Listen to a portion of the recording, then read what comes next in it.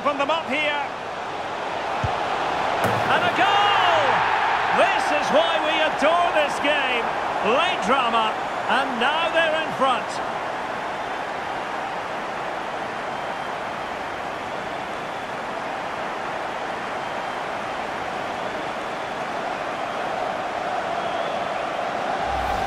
Well, let's see this again.